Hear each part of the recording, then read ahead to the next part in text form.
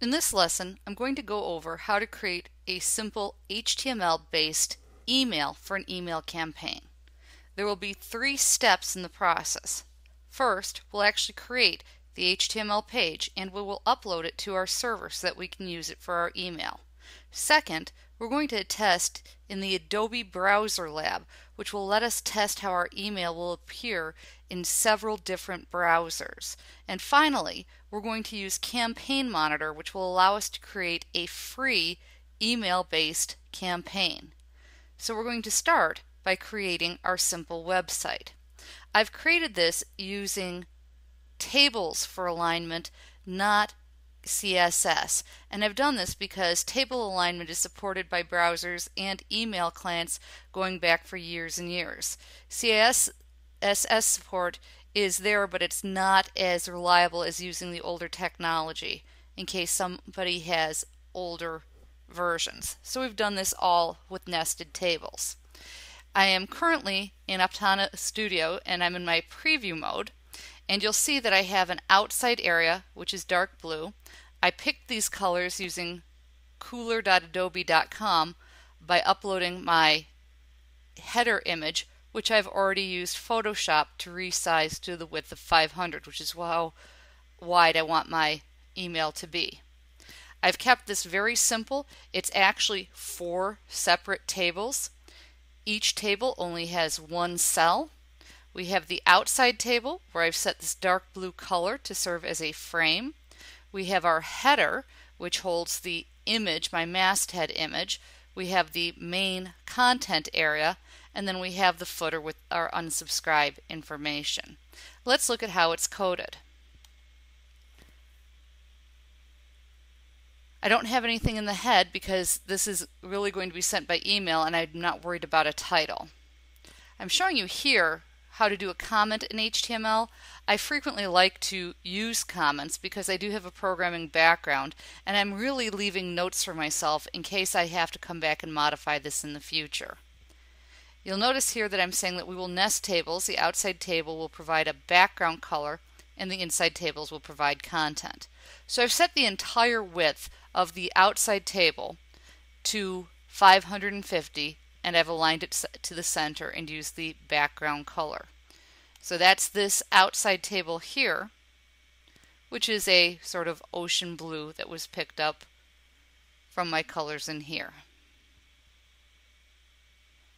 Then my top table inside of that, and you'll notice that I am assigning an ID. This is not necessary. This does not have to be in there. It will work perfectly without it. The ID is for me. It's to tell me which table is which. So this table is my header where my masthead is saved. It does have a background color in case images are disabled and my alt tag will show Travels with Seamus. And so I have only one row, one data cell, which is center aligned, top aligned here. Didn't set the width on the cell. I probably should have. It should be 500. I did set the width on the table though, which is 500. This might affect it in older browsers. So I have my image with no border and its source is masthead.jpg and my alt tag is travels with Seamus. The height is 113, the width is 500. I edited that in Photoshop. And that closes the header table here. Close the data cell close the row, close the table. And anytime that you are previewing in Aptana, you'll notice I made a change. There's a star here showing the change has been made. Before you can preview it again, you need to hit save, and then that will update your preview window. So it's easy to flip back and forth. That doesn't really make any difference here because I did set the table width to 500. So you'll see that my table width is 500 and each of these interior tables is centered, providing a nice border around them. So next we're going to look at the body table, the main table. In lesson 7.1, the code, I have closed out the previous row, I've started a new row, and inside this row, I have a TD with an aligned center, V-align top, width of 500, and then my table, which I give an ID of main, because it's my main section, I have cell padding set to 10. This puts a 10 pixel blank around the whole thing. Let me show you what it looks like without this, and you'll see why it's important. I'm going to save this and preview. Notice that it's coming up directly along the edge here. I don't like the look of that.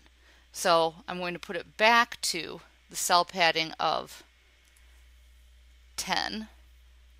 I'm going to save it and preview and that's giving me this nice 10 pixel spacing between the words and the edge. It would exist on the other side and top and bottom if I was close there as well.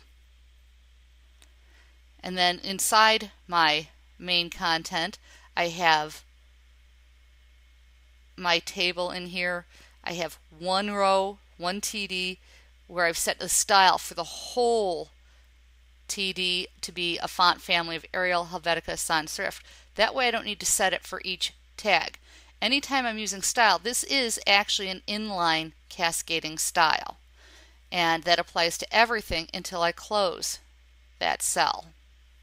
So I can have header tags, paragraphs, I can have links. Notice I'm opening it in blank. You always want to open to blank when you're opening from an email that's opening it in a new page that's for your target. And I have some um, unordered lists in here. I can put all the content I want inside that table cell. When I close that table cell, you'll notice I have my comment closes the body table. And that is this whole table cell right here. Then in my footer, you'll notice the only thing that's interesting here is that I have unsubscribe instead of an email. This is because of the requirements of our our email server that I'll show you in the third lesson. Create your simple email that you will upload to the server. I've called mine lesson 7 1 and you can go out and look at the code on the website and then you're going to take that web address and we're going to test it in multiple browsers. I'll show you that in the next step.